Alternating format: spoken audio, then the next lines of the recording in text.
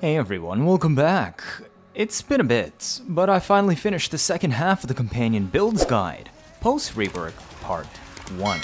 Today's video includes MOAs, Kubrows, Kavats, Vulpaphylas, and Predasites. As you can see, this is also a decent length video, which is why I saved it until now. I have split them this way since non-sentinels are fundamentally different than sentinels. They do not follow you around. Now, hounds were the exception I threw in last video, since I had many asking me to compare it to the Dirga's priming capabilities. Hyper-specific setups that require a particular frame and also a particular companion are not included today. These are just for general companion setups on any frame. But if you want to know all the important stuff right now, well, you've come to the right place. This video will cover the best companion setups, including builds, how to use, mod order importance and why, and other much lesser known info. I would also advise using the timestamps if there are specific things you want to learn on particular companions or utility roles. This is not an exhaustive list, but just everything I've been able to track and test so far. Note that certain bond mods are situational, such as Seismic Bond for ability efficiency,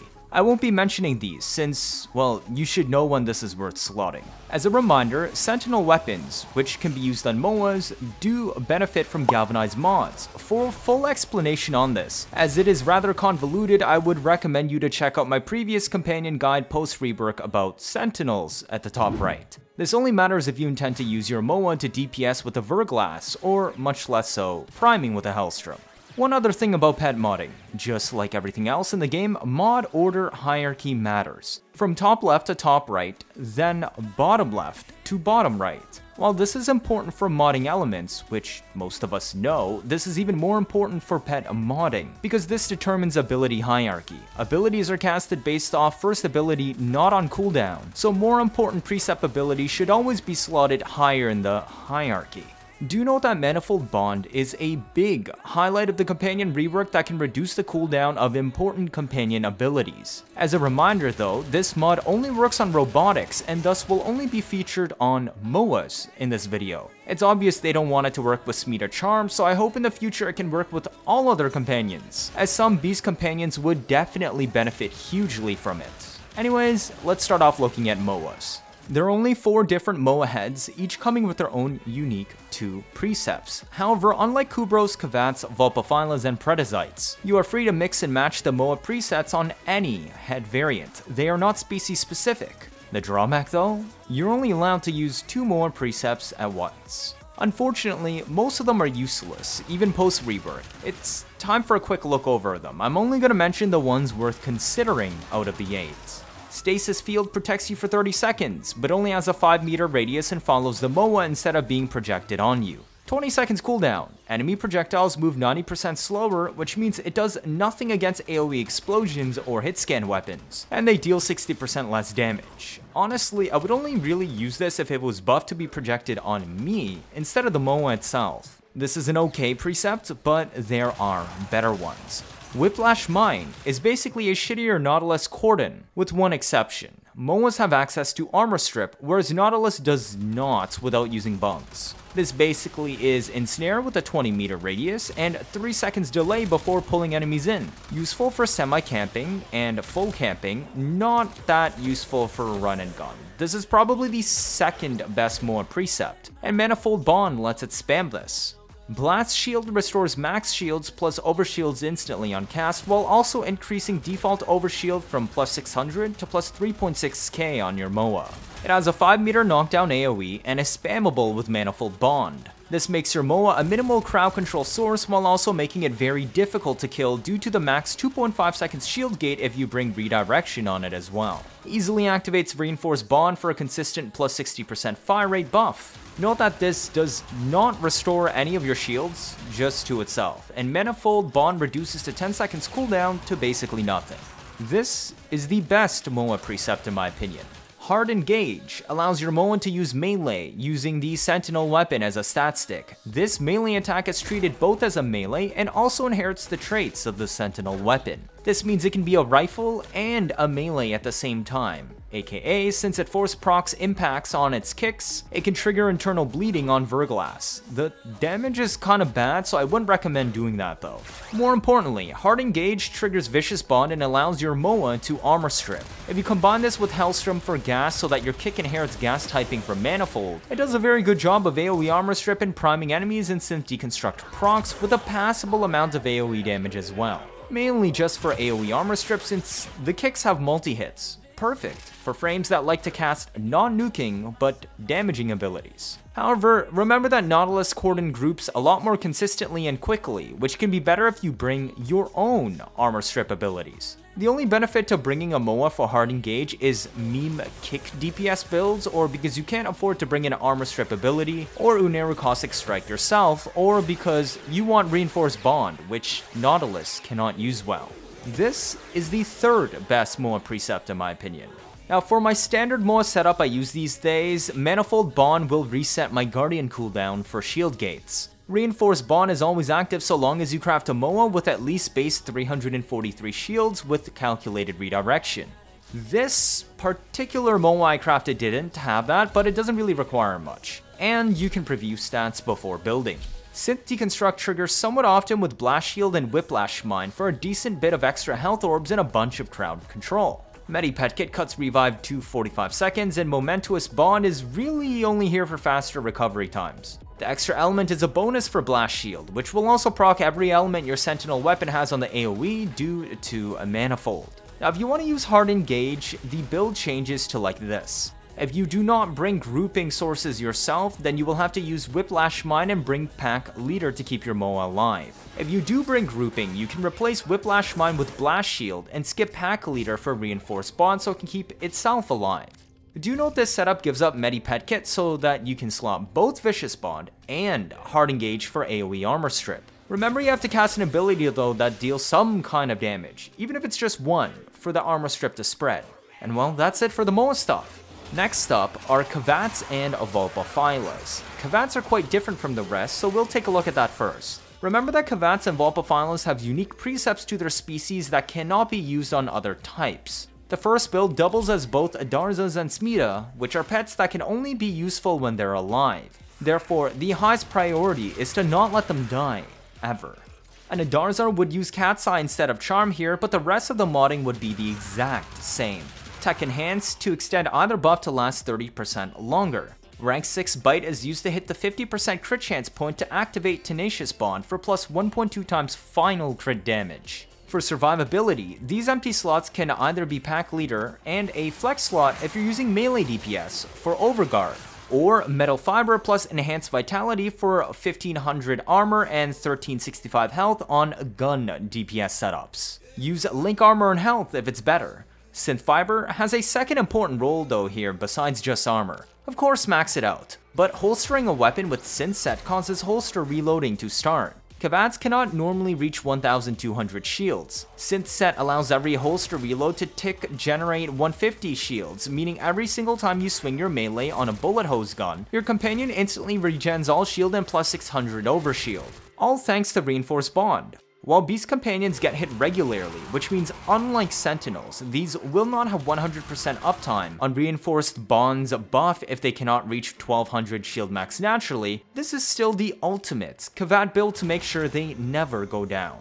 The Vasca Kavat is superseded by all Vulpaphylas and there isn't really a reason to build one these days. The Panzer specifically does its job better with Martyr Symbiosis to keep you alive, and all Vulpas have devolution mods as well. But if you really want to build a Vasca, its main highlight is being able to revive you with no animation timer when it reaches you, unlike say Sacrifice from Sentinels. Therefore, we will build around that. Now, while you can use similar builds to the Darzar and Smeeta setup I showed earlier, just swapping out Charm or Cat's Eye for Transfusion and using the Flex for Loyal Companion, this is an alternative build I came up with that also offers Armor Strip. Swipe allows your Vasca to hit more enemies per attack, triggering Vicious Bond more times. Combined with Tandem Mod, this also allows it to add a fair amount of combo to your melee. Do note this mod combo requires 3 slots to do AoE strip quickly while also buffing melee.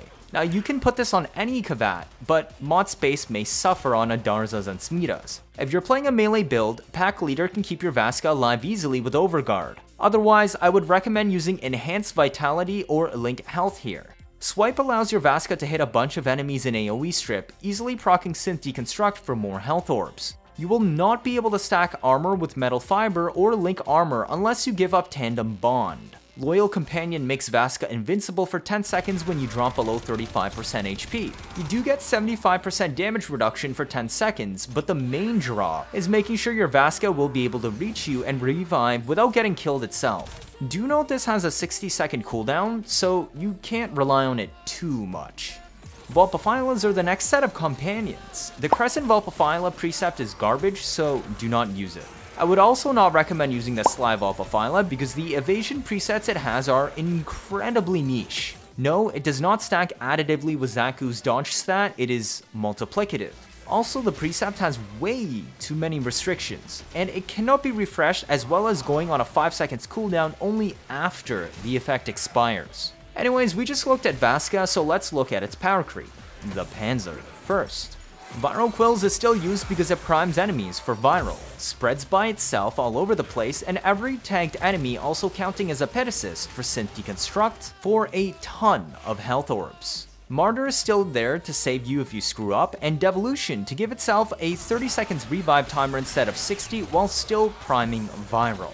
Bite is present at rank 6 because like all other Kavats and Vulpaphylas, Panzer has a base 20% crit chance and can activate Tenacious Bond without Hunter synergy. The Armor Strip Trio combo Swipe, Vicious Bond, and Tandem Bond are here to do AoE Strip and build melee combo at the same time. If you do not need the Armor Strip, I would recommend dropping Swipe and Vicious Bond for Reinforced Bond plus Calculated Redirection. Since Vulpaphylas have base 370 shields, they pass 1200 with redirection to permanently activate Reinforced Bonds plus 60% fire rate buff. If you want both Armor Strip and Reinforced Bonds buffs though, then you will have to give up Tandem Bond and Synth Deconstruct's energy economy bonuses instead.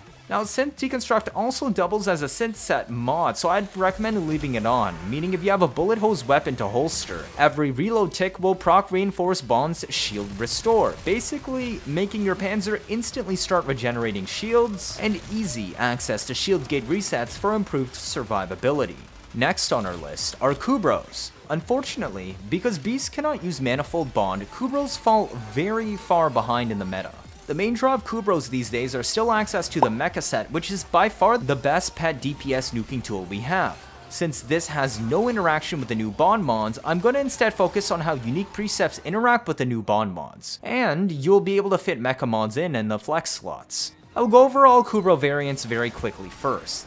The Chesa Kubrow sucks because its precept allows it to only disarm one enemy at a time and get extra loot from a single body every 10 seconds. Unless you're farming Growth Spectres or something, there is zero use for this. The Sunika Kubrow precepts can do finishers, which is useless, because there are better ways for Kubrows to kill.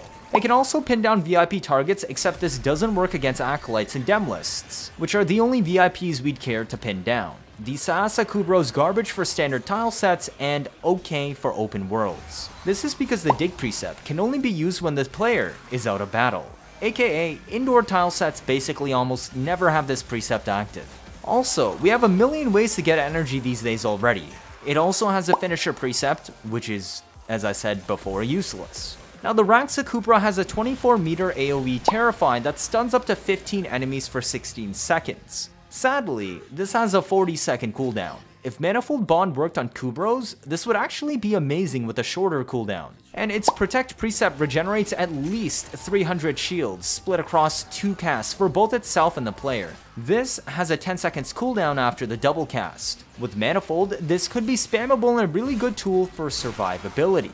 The day Manifold is allowed to work on beasts is the day Raksa Kubrow shines. Now the Huras Kubrow is currently the only one worth using in Part 1 rework due to the stealth it brings. Perfect for ability-based combat since it only breaks on weapon shots or swings. Yes, it can deactivate if everything is dead within 24 meters, but it reactivates quickly. Its Hunt Precept is useless though, as it does zero damage and knocks enemies away. The Helminth Charger Precepts are useless due to either single target grappling or low damage ceiling. The main advantage of the Helminth Charger is super buffing melee builds with Strain Infection and set bonus to spam stack cysts. No, Nidus cysts and Larva do not interact with the Helminth Charger. Its only purpose is for melee spam Hell Tank setups and also works well with grouping due to Strain Eruption. Otherwise, Charger builds will look identical to the following Huras Kubrow build, just replacing Tandem Bond and Stock with Strain Eruption and Strain Fever since you'll be spamming melee attacks the entire time anyways. For Huras Kubrow, I will show the build I used in my recent Garanuk video which has a few tweaks. The main benefit of Huras versus other companions is stealth, and access to Tandem Bond to build melee combo, even if you don't attack easily maintaining combo and comfy for problematic cases, like Gar's Shattered Lash not building combo on hits or Baruuk's hitbox issues with Serene Storm. But do know that Tandem can be used on any Beast Companion, and using Baruuk's Fists will break Invis. Really, Huras Kubrow is just for an ability nuke frame that wants invisibility to help with survivability. Synth Fiber with Reinforced Bond allows you to holster reload spam when Invis breaks by accident so that you can run off and disengage with shield gate spam on your pet so it doesn't die. Then, you can re-enter the fray when you become invisible. You cannot shoot with stock active without breaking it, so the 60% fire rate bonus is useless. Tenacious Bond can grant plus 1.2 times final crit damage to pseudo exalts with Hunter Synergy. It takes 30% of your final crit value on a primary stat stick weapon and adds it, letting you hit 50% CC on a Huras. Yes, the Hunter Synergy bug for Tenacious Bond was fixed yesterday, and it no longer needs bites. If you're not using a Pseudo Exalt and nuking with a standard ability, you can drop both Tenacious and Hunter Synergy for a Mecha Overdrive and Mecha Recharge instead for a Mecha Nuke setup. Momentous Bond is only here for easy revives if it still somehow dies, and if you're instead interested in a Kubrow Nuke setup, where they are the main source of DPS, I will direct you to my recent Kubrow Nuke setup video. Just make sure to squeeze on Duplex Spawn somewhere on the build now's post update so you have 3 Nuke Dogs running around instead of just one. Maybe Duplex Bond over Tandem Bond and Mecha Overdrive over Stock. Our final set of companions are Predasites. These also have quite a few issues due to no access to Manifold Bond.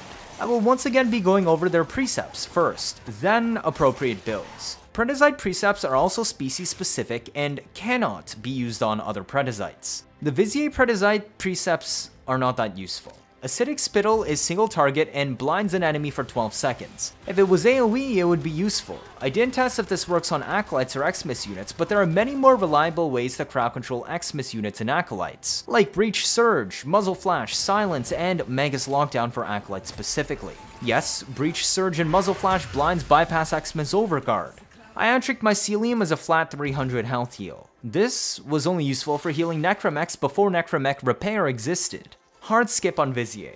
The Pharaoh precepts also look good on paper, but they don't actually work properly. Endoparasitic Vector frequently misses. The Pharaoh looks on in advance and launches a larva after a 2 seconds wind up, but at that spot it aimed at 2 seconds ago. It does not group up enemies and doesn't even slow anything within 5 meters like it's supposed to.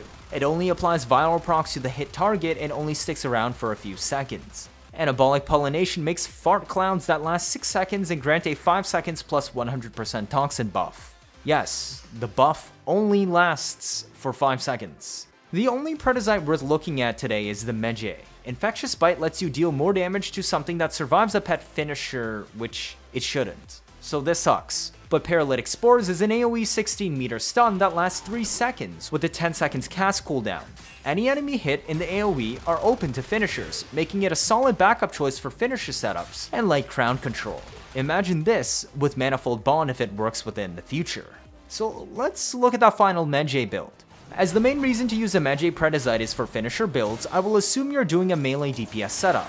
This means your guns are primers, and I can assume a stat stick primary weapon for Hunter Synergy to get us above 50% CC. This is because Predasites only have base 10% crit chance like Kubrows, and cannot activate Tenacious Bond with Bites alone. You will need a primary that reaches at least 134% crit chance to activate this mod without Bite equipped. Incarnon modes with higher crit chance work too, since it pulls from the current active state of your weapon. Most finisher setups have Force Proc Slash. You will want to combine this with the Mecha set, with the other two mechas on your Warframe for the full 4 set piece 30 meter nuke. All mecha kills are also considered pet assists, so we slot Synth Deconstruct to produce a ton more health orbs. While the mecha mods can be rank 0, I strongly recommend maxing out Synth Deconstruct. Predasites have base 350 shields, so calculated redirection is enough to push them above 1200 for reinforced bond. Synth Deconstruct also doubles as holster reload synth bonus to constantly proc the reinforced bond 150 shield regen on every reload tick. This helps to keep your pet alive by stacking with Pack Leader for doubling up on Overguard Gate and Shield Gate resets on a melee spam build. Paralytic Spores will help to open enemies up for finishers, as well as light crowd control on top of any other methods you use for finisher openers. And that's it. Thank you for checking out my second half companion guide covering all the Moas, Kubrows, Predasites, Kavats, and Vulpaphylas. There's been an insane amount of work put into this, and I'm glad I can finally show you everything. Thanks again to everyone that helped out, and I hope this information was useful. If you're wondering why I lean so heavily into pet survivability and mentioned the Synthset Reinforced Bond holster reload tech so often in this video, but not in my Sentinel video, it's because Moa and Beast Companions have rather bad AI, and draw a lot more aggro to themselves to get killed than Sentinels. Hence, the Synthset reload tech, while perfectly usable on Sentinels, and useful to activate Reinforced Bond on anything that wasn't Worm, was not as necessary. DE has confirmed that Part 2 Companion rework will not ship until 2024, which is also the Charm nerf. So expect all the info in this video and my Sentinel one to be fully up to date for the several next months to come. If you haven't seen my Sentinel and Hounds companion rework guide, I strongly recommend to check it out for all the cool things you can do with them. Cheers! If this is your first time watching, feel free to leave a like or better yet subscribe, your thoughts down in the comments. 79.5% of you are not subscribed, I'm trying my best to get you new information out always, as soon as possible, like I've done with the Dagath and companion rework updates. Stick around you want to see interesting memes and builds on a nearly daily basis. You don't want to miss out on any of that, do you? That'll be it for this video, thank you all for watching, and see you all next time.